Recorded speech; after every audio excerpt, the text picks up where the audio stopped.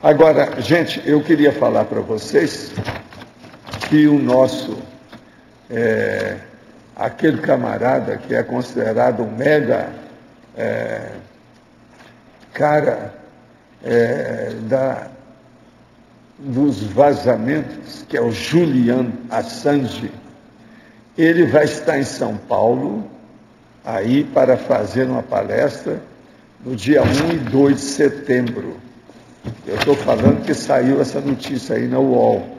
Em setembro, o discurso que pauta, a nova realidade está no evento digital mais importante do ano. Então, é um evento de, é, vamos dizer, de gente da internet, é, hackers e outras coisas mais. Agora, vamos ver se tem amigos nossos que vão participar disso aqui, que é importantíssimo. Se alguém quiser ver, está aqui, tem todos os dados. Alguém que vai a São Paulo em setembro, que eu, por exemplo, se estivesse lá, iria assistir a palestra do Assange. Porque esse cara é piradão. Eu já vi os livros todos dele. Agora, o, o homem é diferente dos outros. Ele, se é com os réus, é com os réus diferentes. Se não é com os réus, ele ainda está muito alterado. Sabe como é que é? Então, ele é uma pessoa controvertível. Aí, você era um cara que devia estar lá para ouvir o que, que o cara vai falar. Você é a sua cara. Viu? Agora, é o Wikileaks, vocês sabem. Hoje já fizeram outro. Hoje já tem o, o Leaks diferente, fizeram outro, outro tipo de vazamento, que é o, o, o Find Leaks, etc. Tal, que lá daquele do, desse nosso amigo aqui, ó, que é esse aqui, Daniel Domscheitberg, que é o que teve a desavença com ele, fez a, sabe, caiu fora, e eles criaram um outro, que é o Find Leaks, em vez do Wikileaks.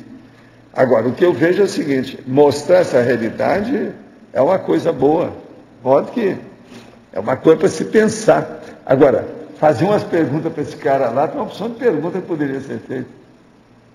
Entende? Porque ele é piradão. Esse Daniel aí escreve a respeito do, a vivência com ele diária. O cara é pirado.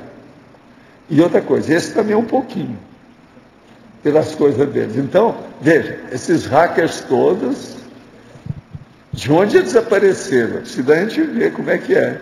Mas deve ter gente boa no meio, porque tem um aspecto disso, eu não sei se 5%, que é positivo. Não é tudo que é negativo.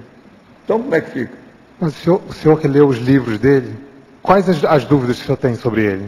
O senhor faria pergunta para ele? mas um monte. Eu vou juntar os livros todos numa hora e vou trazer aqui. Mas olha, só para você ter uma ideia, eu já andei falando umas coisas aqui. Só o que o Daniel está falando aqui, você nota que esse povo não, é uma meninada em certa situação. Entende? Quer ver? Deixa eu só ver uma coisinha rápida aqui, qualquer coisa. Ele fala aqui. É que isso aqui ainda tem ainda que estudar e juntar com todos os livros. Por exemplo, esse aqui, que é um cara, olha a cara dele, você vê que ele tem alguma coisa esquisitinha. Esse ganha de você com a cara dele, é, né? Olha aqui. Vocês estão vendo a cara esse aqui de cima? É ele. Não, mas não é um cara que chama atenção. Olha a cara dele, presta atenção. Esse é o Daniel. E é o que falava a verdade para ele. Pelas coisas que eu já li, o Daniel parece menos alterado do que o, o Assange. Sabe como é que é? Agora, por exemplo, o Daniel está é, falando em tatuagem, falando isso bonito. Ele queria fazer uma tatuagem do Wikileaks nas, nas costas, aquele negócio todo. Parece que andou até fazendo tal. Agora, outra coisa. O problema do Assange de se isolar na floresta. Isso é uma cabeça. Mostra que não é bobo, com todas as coisas dele. É por causa do processo de energia. Ele não sabe o que é isso. Mas ele está seguindo a inspiração ou o instinto dele corretamente. Então é uma coisa para se pensar. Agora, aqui tem uma série de coisas, os processos dele, bebidas, excesso, essas coisas todas tem aqui que eles falam lá. Outra coisa, como é que ele escreve? Ficamos com ódio danado. Ponto. Isso é a frase que ele escreve, quer dizer, é um cara que é um meninão. Opção de besteira. Isso é ele aí que está escrevendo sobre todos eles. Ficamos com ódio danado. Você já viu só? Agora, como é que fica?